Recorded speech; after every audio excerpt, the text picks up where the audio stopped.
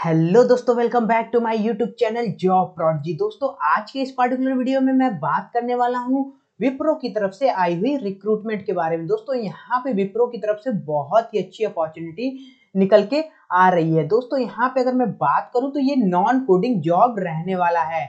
दोस्तों, यहाँ पे मैं बात करूँगा दो जॉब प्रोफ़ाइल की।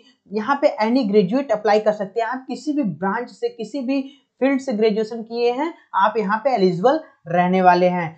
तो दोस्तों, वीडियो को डिटेल में स्टार्ट करेंगे। इससे पहले कहेंगे, अगर आप हमारे चैनल पर नए हैं तो सबसे पहले चैनल को सब्सक्राइब कर दीजिए और बेल आइकन को प्रेस कर दीजिए ताकि आने वाले हर जॉब की नोटिफिकेशन आपको मिलती रहे। जॉब की जो लिंक है वो मैं डिस्क्रिप्शन में दे दूँगा। वहाँ से जाकर आप डायरेक्ट अप्लाई कर सकते हैं। तो चलिए दोस्तों, स्टार्ट कर लेते हैं।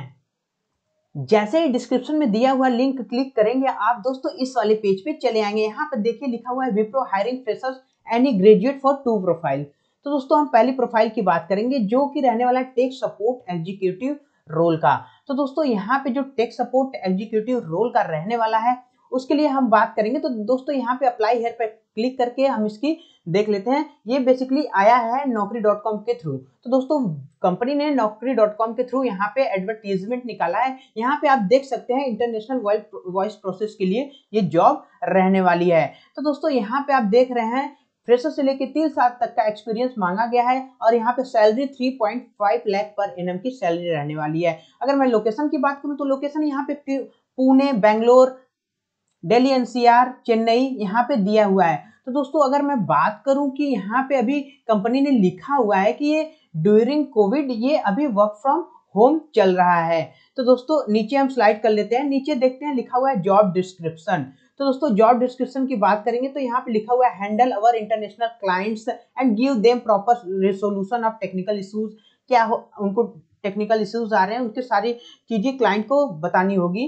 और रिक्वायर्ड कैंडिडेट प्रोफ़ाइल में ये बोला गया है कि एनी ग्रेजुएट यहाँ पे लिखा हुआ है which top note English frequency दोस्तों, यहाँ पे अगर आपकी फ्लुएंसी इंग्लिश की अच्छी है तो आप अप्लाई कर सकते हैं। ये नहीं कि हाई लेवल की अगर आपकी इंग्लिश नहीं है तो आप अप्लाई नहीं कर सकते हैं। आप बिल्कुल अप्लाई कर सकते हैं। बस आपको इंग्लिश में थोड़ा बहुत बात करना आ जाएगा। अगर मैं कॉल एंड सैलरी की बात करूँ तो यहाँ पे सैलरी प्लस इंटेंसिव इंसेंटिव ऊपर मैंने मेंशन कर दिया था कि यहाँ पे 3.5 लाख पर एनएम तक की आपकी रहने वाली है। तो यहाँ पे आप एजुकेशन में देख लीजिए एनी ग्रेजुएट और आईटी सपोर्ट इसकी रोल रहने वाली है। आईटी सपोर्ट इसकी रोल कैटेगरी जो है फुल टाइम परमानेंट ये जॉब रहने वाली है। अगर मैं की स्किल्स की बात करूँ तो यहाँ पे BPO communication skill English international call centre दोस्तों, इससे पहले अगर आप बीपीओ में काम किए हो, अगर आप कॉल सेंटर में काम किए हो, आपकी कम्युनिकेशन स्किल्स अच्छी है तो आपको यहाँ पे प्रेफरेंस बहुत अच्छा मिलने वाला है। तो बढ़ते हैं हम दूसरे जॉब की तरफ़। दोस्तों, जो आया हुआ है IT service desk job engineers की रोल के लिए। तो यहाँ पे भी देख सकते हैं, यहाँ पे मांगा गया है ज़ीरो से चार साल तक का एक्सपीरियंस मतलब आप फ्रेशर्स हैं तो भी अप्लाई कर सकते हैं। तो दोस्तों, यहाँ पे जॉब डिस्क्रिप्शन की बात करूँ तो जो डिजिग्नेशन आपका होगा आईटी सर्विस डेस्क एग्जीक्यूटिव का डिग्नेशन होगा। दोस्तों, हम बात कर लेते हैं यहाँ पे सैलरी की। तो salary as per market standard यहाँ पे दिया गया है। अगर हम बात करें की पॉइंट क्या क्या है इंफ्रास्ट्रक्चर रहने वाला है यहाँ पे तो नीचे हम देख सकते हैं लिखा हुआ है candidate should have excellent communication skill इसके लिए भी एक्सीलेंट कम्युनिकेशन स्किल्स होनी चाहिए। Should have basic good knowledge of computer like VPN दोस्तों, यहाँ पे आपको ट्रबल शूटिंग नेटवर्किंग की बेसिकली आपको नॉलेज होनी चाहिए। ट्रबल शूटिंग आनी चाहिए कंप्यूटर की नॉलेज होनी चाहिए वीपीएन के बारे में स्विच राउटर ये सब क्या होती है? थोड़ा बहुत अगर आप यूट्यूब से भी पढ़ लेंगे तो अप्लाई यहाँ पे कर सकते हैं। Configuration ticketing installation IP addresses etc should have in brief interview दोस्तों, अगर आपकी इंटरव्यू जो होगी तो आपकी काफ़ी अच्छी इंटरव्यू होने वाली है। बढ़िया सा।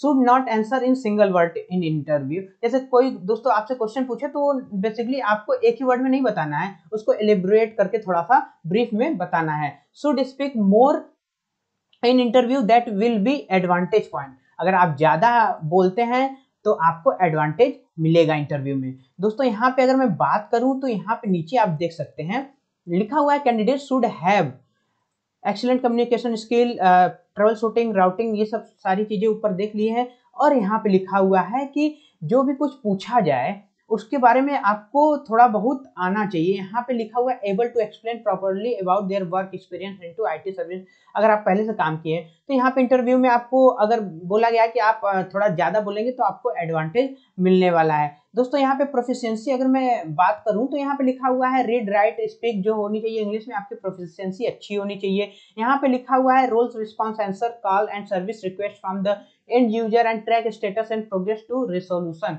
तो रोल की बात करें तो यहाँ पे सपोर्ट इंजीनियर्स की रोल रहने वाली है industry type IT service consulting की रहने रहने वाली है। फुल टाइम परमानेंट जॉब है दोस्तों, यहाँ पे एनी ग्रेजुएट अप्लाई कर सकते हैं। अगर मैं बात करूँ अप्लाई कैसे करना है तो यहाँ पे लिखा हुआ है लॉग इन टू अप्लाई या रजिस्टर टू अप्लाई अगर आप पहले से नौकरी डॉट कॉम पे है तो लॉग इन टू अप्लाई पे क्लिक करके आप लॉग इन कर सकते हैं। अगर आप पहले से नहीं है तो हंड्रेड परसेंट पहले नौकरी डॉट कॉम की प्रोफ़ाइल बनाएँगे, तब अप्लाई कर सकते हैं। तो लॉग इन टू अप्लाई पे हम लोग क्लिक कर देते हैं। यहाँ पे बेसिकली दोस्तों एक ईमेल आईडी मांगेगा और पासवर्ड जो नौकरी डॉट कॉम पे आपने बनाया हुआ था। तो दोस्तों वहाँ पे आप जाकर अप्लाई कर सकते हैं। तो थैंक यू सो मच दोस्तों। वीडियो को देखने के लिए धन्यवाद।